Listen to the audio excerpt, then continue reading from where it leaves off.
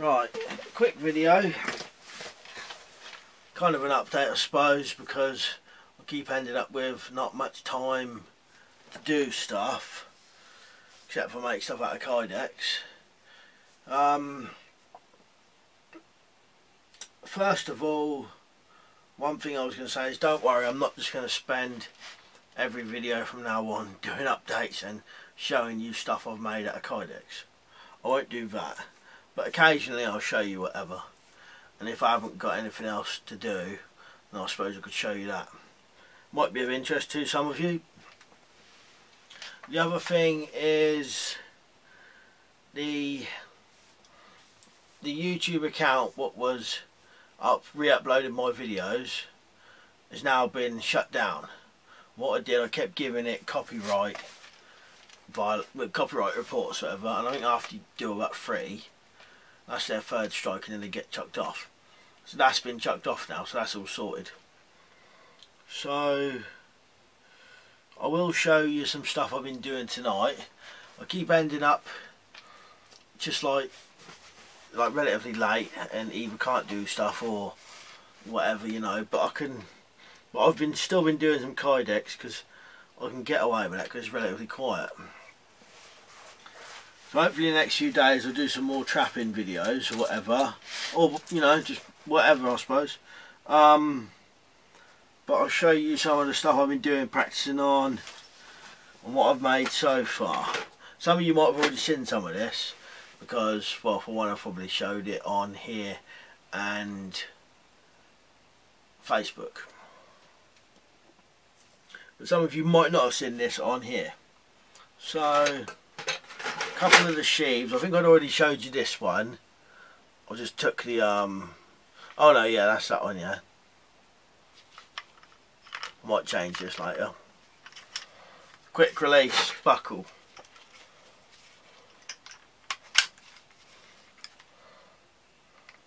But I might change that. Really needs to be centered a bit more. Just adjusted a bit. This is probably one of the a couple of things that which are completely finished. That is pretty much completely finished now. And that is a that's the Mora 510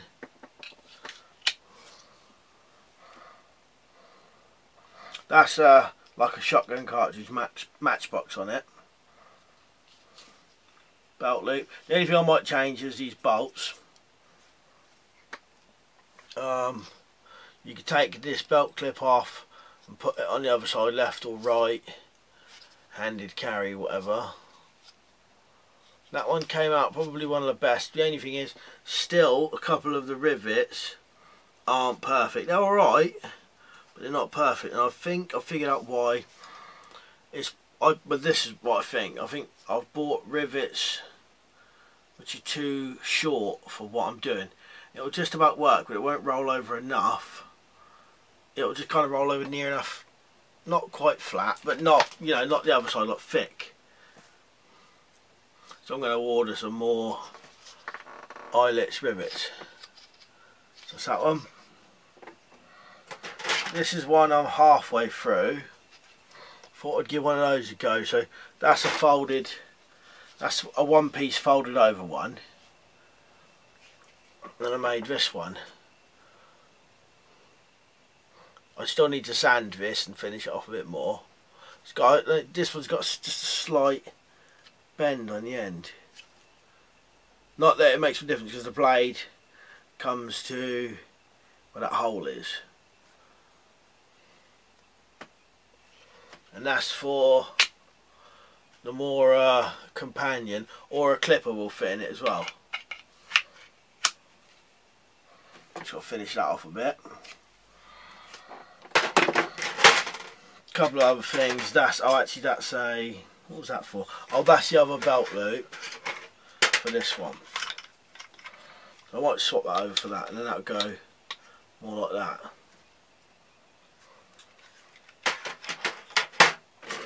Just made this tonight. So like a um, tin holder.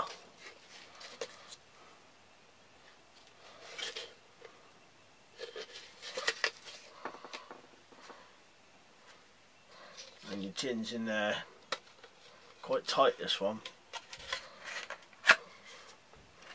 That goes in there.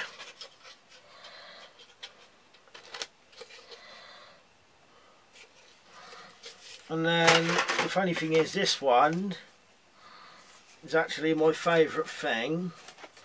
I'm going to make some more of these.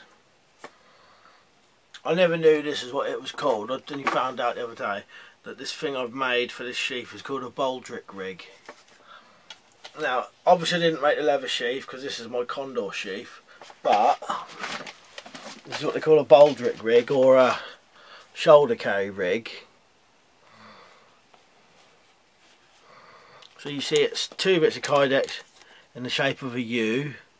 It's got an eyelet there, there, one there and there. So I did actually do one in the middle thinking that I could put a bit of string coming down but then realised once I'd done it that's in the way. And then this bit is bolted across your belt loop of your knife. It's got a quick release clip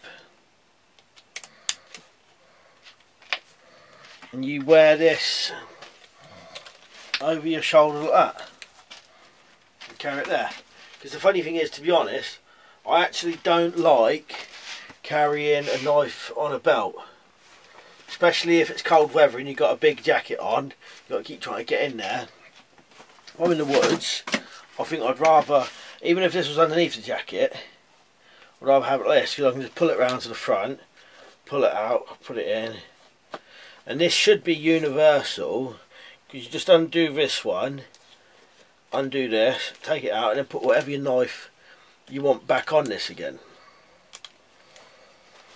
Now it might seem weird that you could just tie a bit of string on there but I used to do that and this is you'd be surprised way better.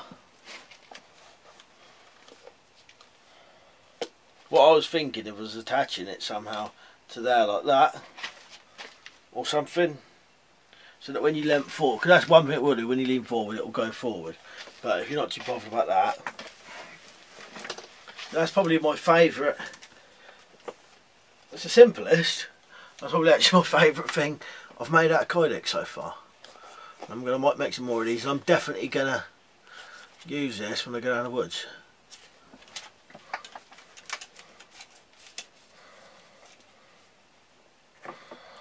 More than likely I'm going to make, well I'm going to make some more of everything. I'm going to keep practicing until I get good with it. But um, this is another kind of thing that I'd probably carry as well. A small tin. I'm going to, I'm, I'm going to have to adjust this. I could probably still make this fit on any belt. I just have to make the loops come up like this. But I might make these wider next time. I'm going to put belt loops on it so you can wear that on your belt. Right, so that's Oh, and I've made one other thing as well, but not here Um, so that's pretty much that. I've got the account shut down and I've been practicing with Kydex. But like I said, don't worry, I'm not just going to keep doing videos about Kydex. You know, I will do some videos. Once I get a bit better, I'll definitely show you, if you want, how to make one of these without a doubt. I'll definitely show you how to make one of those. Um, you probably make, if you get black HDPE, this doesn't really need any moulding, it's just cutting shapes out. So anyone could do this one. Definitely show you how to make one of those. So more than likely when I get better with the tin holder, we can make one of those. Showed you how to make a knife. If you want to know, you know, if you want to, or how I make one, if you want to know, or tell me to try any other things, we could always try it and if they work they work like I said I still need to get my rivets a bit better though. But I think I've figured out what that was. So I think that's enough for that. So cheers for watching. And hopefully I'm going to start getting more time later on and start doing some more stuff. So cheers for watching and I'll see you later